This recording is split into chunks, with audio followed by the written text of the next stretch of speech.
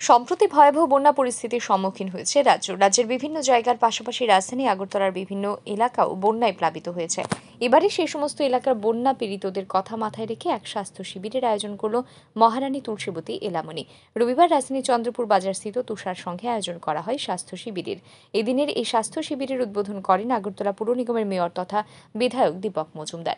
এদিন শিবিরের উদ্বোধন করে মেয়র বলেন, বন্যা পীড়িতদের সুস্বাস্থ্যের কথা মাথায় রেখে বন্যার পর বন্যা কবলিত বিভিন্ন এলাকায় সরকারি উদ্যোগে স্বাস্থ্য শিবিরের আয়োজন করা হচ্ছে। যাতে করে সাধারণ মানুষ বিনামূল্যে নিজেদের স্বাস্থ্য পরীক্ষা করে বিভিন্ন রোগের হাত থেকে রক্ষা পেতে পারেন। এক্ষেত্রে রাজ্য সরকারকে সহযোগিতার হাত বাড়িয়ে দিয়েছেন বিভিন্ন সামাজিক সংস্থা এবং সংগঠনগুলো। মহারানী তুলসীপতি এলামনিও তাদের মধ্যে একটি। তাদের এই উদ্যোগকে সাধুবাদ জানান মেয়র।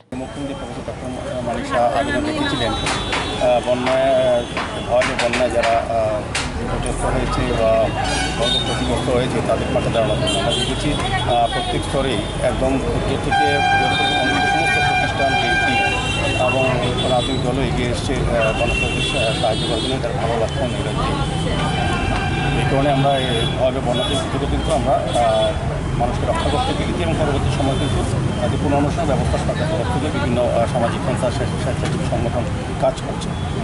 তো আজকে আমার খুব ভালো লাগছে স্থানীয় সংঘের মধ্যে আহ, মহারানী তুলসীপতি বালিকা এমন পক্ষ থেকে।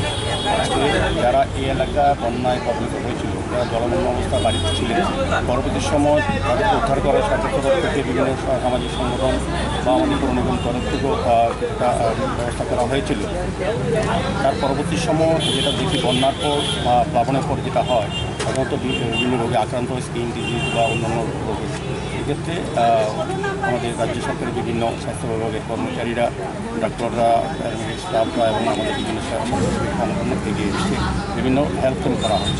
রাজ্যে প্রচুর হেলথ ক্যাম্প হয়েছে সরকারি ব্যবস্থাপনা এবং বেসরকারিভাবেও কিন্তু বিভিন্ন সা- সামাজিক সংগঠন পক্ষরা এই কাজ করছেন। তাদেরকে ধন্যবাদ জানাই। আজকে মহারানী তুলসী বালিকা বিদ্যালয় এলামনি পক্ষ থেকে এই এলাকায় স্বাস্থ্য শিবির আয়োজন করেছে আমার বিশ্বাস থাকবে প্রত্যাশা যে এই এলাকায় যারা জলের সময় যারা জলমগ্ন ছিলেন বা বন্যায় তারা ক্ষতিগ্রস্ত হয়েছেন তাদেরকে আজকে আমি বলব চিকিৎসা পরিষেবা প্রদান করা হচ্ছে।